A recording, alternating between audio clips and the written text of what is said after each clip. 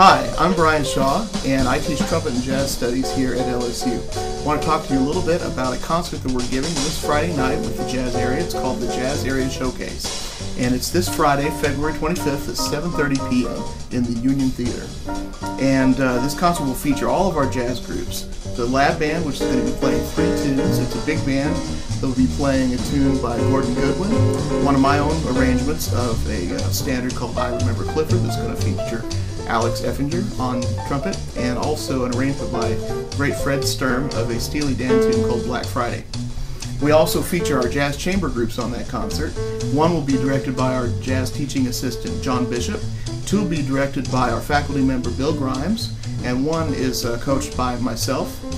Uh, we also have, uh, to close the concert, the LSU Jazz Ensemble, which is going to be doing a wonderful piece of music by Maria Schneider called Hang Gliding. And we will also end with a special treat by Duke Ellington called Crescendo. I hope you will be able to come to the concert on Friday night, and we'll see you there. Thanks.